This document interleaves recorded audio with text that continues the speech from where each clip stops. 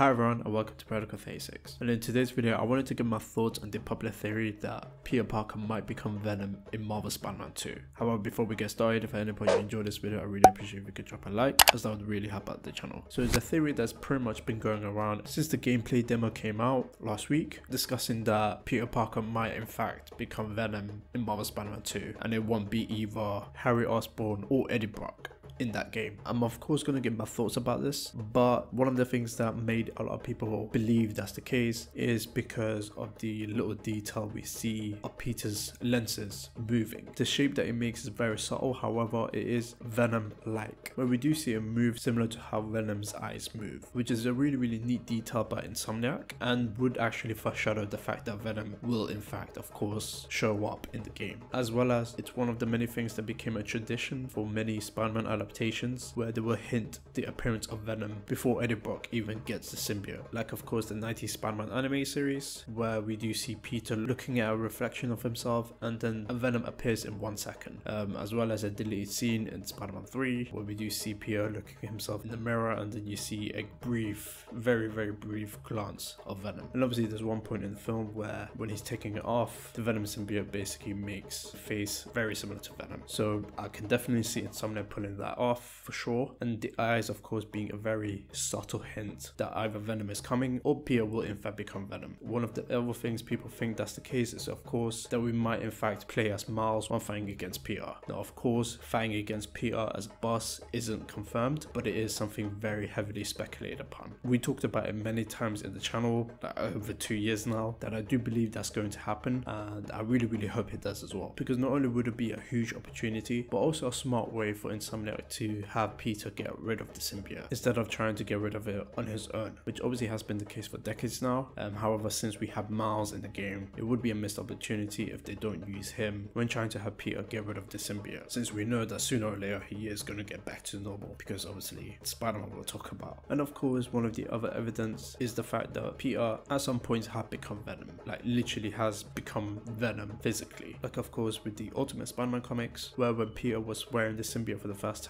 he spotted a crook and he mistakenly took him for Uncle Ben's killer, which made him so angry to the point where he actually became Venom. So there has been points where Peter has become Venom, but of course those moments has been very very rare. There are many other things as well that people have mentioned why that might be the case, but as of my thoughts, I personally don't think Peter will become Venom in Marvel Spider-Man 2, at least not in the way where Eddie Brock is Venom, like a final boss where we have to fight towards at the end of the game. Because at the end of the day, it is a Peter Parker game. He is the protagonist, so we're going to have to play as him when fighting against Venom towards the ending of the game. Since it wouldn't really make sense if it's a Peter Parker game, we play as Miles to fight against Peter, who's supposed to be the main character. Obviously, I do think a boss fight between them will definitely happen, but I don't think it will be the boss fight at the end of the game. It will just be one of them, and would be probably a big portion of the game too. However, if he were to become Venom, I wouldn't be surprised if there was one point where Peter eventually gets the symbiote off him. The actual symbiote suit does make him even more aggressive than usual, thus actually making him Venom, or at least a proto-Venom, where we as Miles are forced to take him down, probably towards the ending of that fight. I think that is more likely to happen, plus it would be more accurate to the Ultimate comics as well, which of course Insomniac isn't too shy to take some inspiration from. So I do think that is more likely to happen if that's going to be the case, but even that is pretty hard to say. However, I do think that will happen, and of course